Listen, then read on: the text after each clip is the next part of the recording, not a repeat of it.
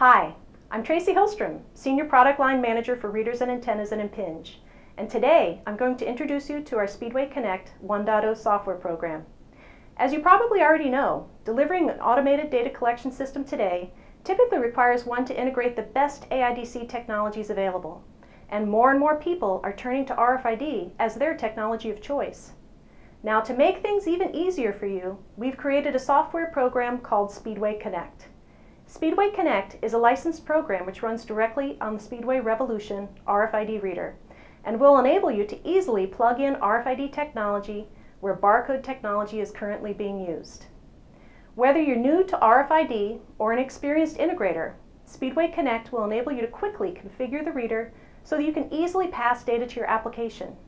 So whether you're providing keystrokes using USB HID, a serial or Ethernet connection, or even web delivery, you can now deploy your RFID solution without costly code changes or middleware expenses. To demonstrate how easy our new software program works, I've asked my colleague, Pete Privatera, to provide a brief demonstration. In fact, Pete's going to get the reader up and running in less than five minutes. Let's check it out. So let's get the timer started to see just how quickly we can do this. Now that the clock is started, let me first start by installing Speedway Connect.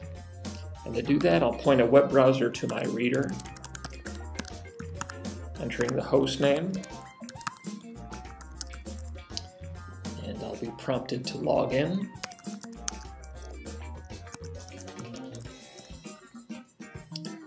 And then I'll point it to the Speedway Connect installation file and click Upgrade.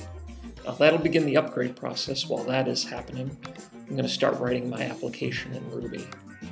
And uh, I almost hesitate to call it an application because it's just a few lines of code. Um, first, we'll have to import the socket library. Um, second of all, we'll create a new socket. And we'll open that socket and we've got to provide it the host name of the reader. And the port. The standard port with Speedway Connect is 14150, but that is completely configurable. Um, then I'm going to read lines in a loop. And I'm going to print those lines to the screen.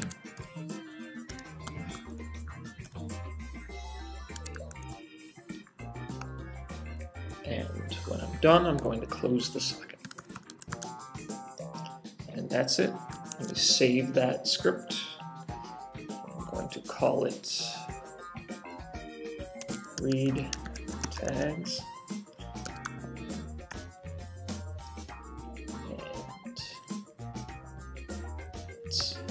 Take a look at where we are in the update. It looks like Speedway Connect is installed and the reader is ready to be rebooted, so I'll click the reboot button.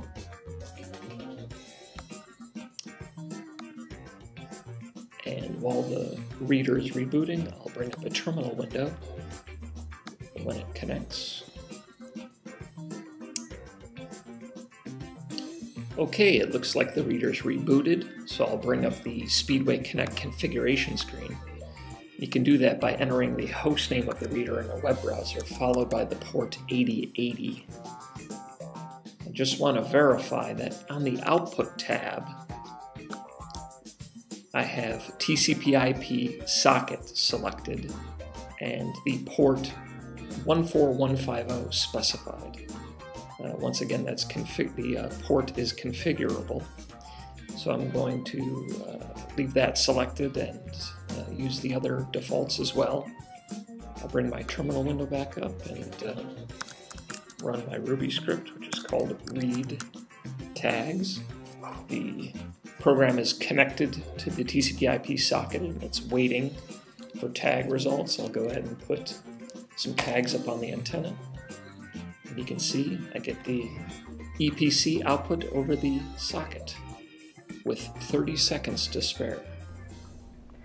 So as you can see, Speedway Connect makes integrating RFID possible for just about anyone.